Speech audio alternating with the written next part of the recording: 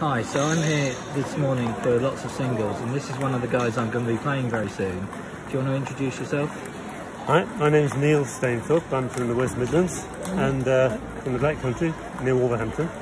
I've come to this place in Wels, which is about 15 minutes from where I actually live at the moment. Uh, so I'm very, very local. Uh, and I've met some very nice English people, including Rob. And we're going to be sadly having to play against each other in the same group today. Would have preferred it in the final. I think it's more sad for me than for you, Neil, but we'll see. well, I don't know, we'll, we'll see. Uh, the main thing is to beat a few Austrians and a few Germans today. Uh, I think this, this, is a wonderful tournament. It gets so many Parkinson people together, all united in one task, and then you're kicking Mr. Parkinson at the backside and getting him outside the, the, the hall for a bit.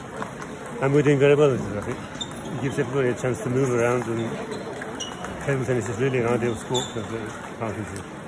Okay, thanks very much, Neil. Let's have a good game together. Yeah, okay. Cheers. See you.